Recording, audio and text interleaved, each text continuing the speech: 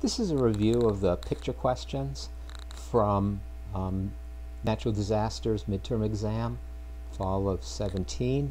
Um, what picture one shows is a situation where freezing rain is occurring. This is a very unusual um, sort of atmospheric situation in which an approaching warm air mass, a warm front, has created a warm air layer well above the ground. It's in between the normally cold atmosphere way up and a cold layer of air near the surface.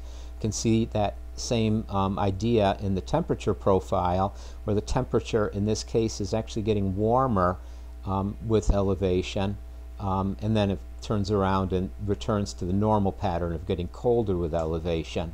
What happens to a snowflake in this situation is, um, and remember that all precipitation starts as ice or snow crystals, um, the snowflake falls through a, uh, the warm layer and melts into a raindrop.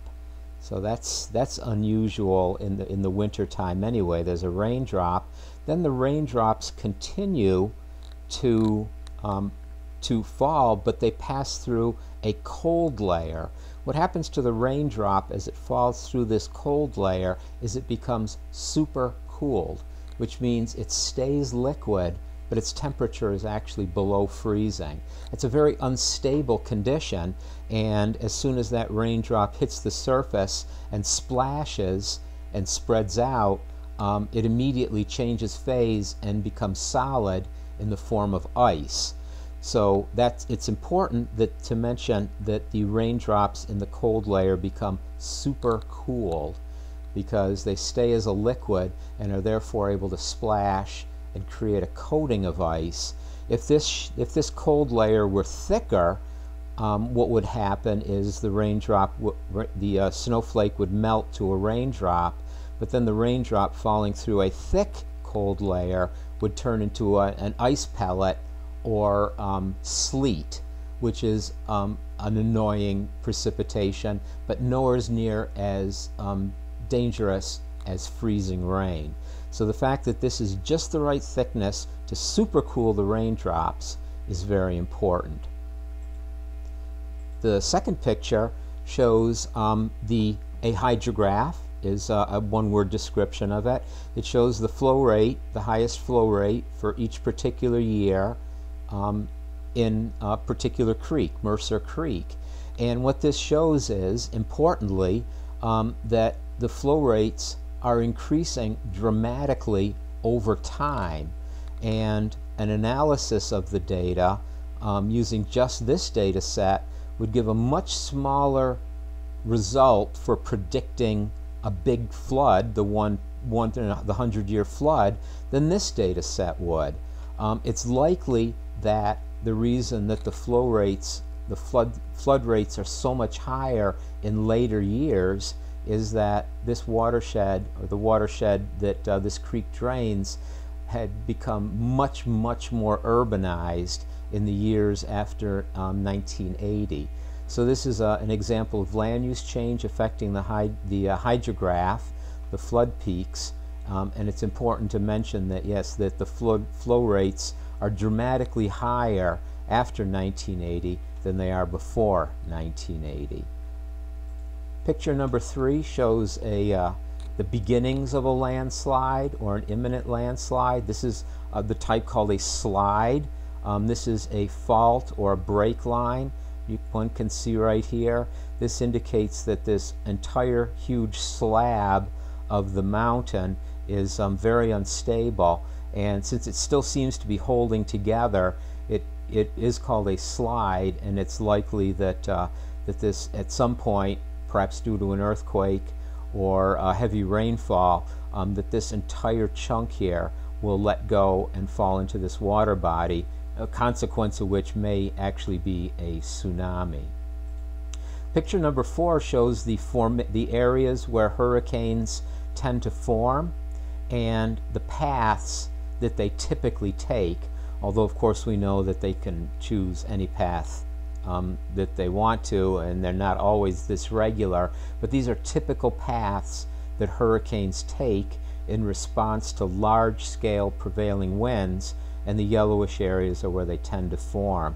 It's notable that there's no formation of hurricanes anywhere near the equator and um, it's also notable that they tend to travel toward the pole in, from whichever um, hemisphere they happen to be in.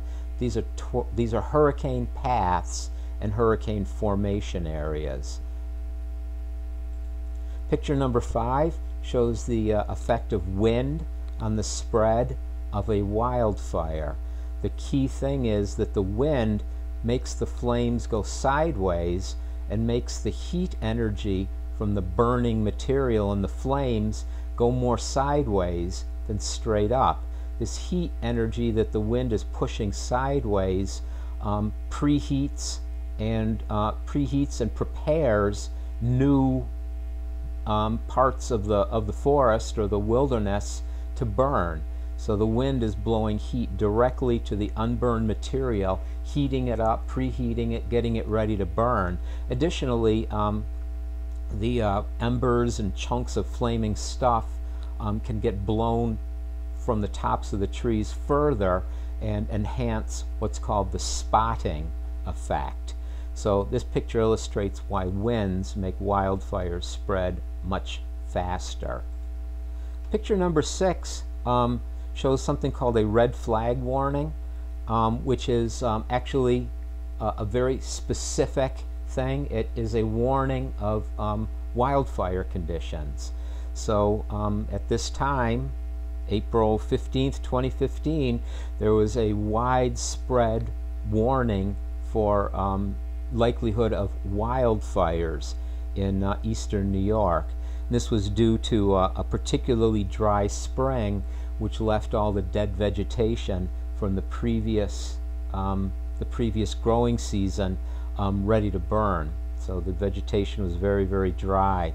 It's uh, perhaps unusual to, or maybe not anticipated, to think that upstate New York could have um, red flag warnings and have an issue with wildfires. But the fact is that we, we do have wildfires. Um, anybody who mentioned that uh, that um, having this type of a warning system in place helps people to be aware of and to prepare for and to respond to natural emergencies um, earn some extra credit on top of what they would have gotten otherwise. So um, if you knew that it was wildfire and you discussed why this weather service um, forecast and warning maps are useful, that was a, that was a very strong answer.